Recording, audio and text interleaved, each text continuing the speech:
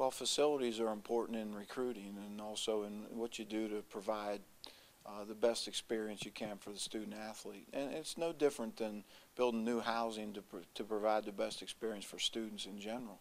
Uh, we take that same approach in athletics.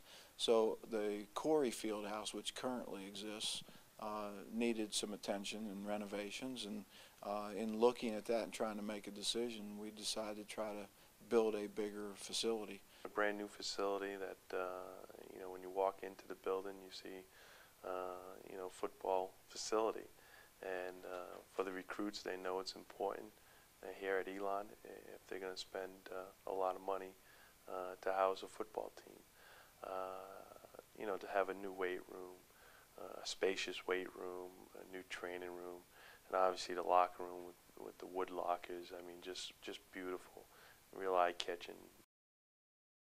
The technology, the new technology in the building is going to be fantastic in terms of video review and you know analysis, video review of teams we're going to play. The Cuomo whiteboards are fantastic. We can get small groups of players, whether it be defenders or midfielders or forwards or goalkeepers, into a small room, and with the Cuomo whiteboard, we can we can just do a lot more advanced video review Even the coaches that are in the building, uh, we're a little bit leery about is this a football building or what is it? And I think as they've been here just in the short period of time, they realize that this is an athletic facility that can recruit all of our student athletes and uh, certainly is in a great vicinity if your sport is around this building.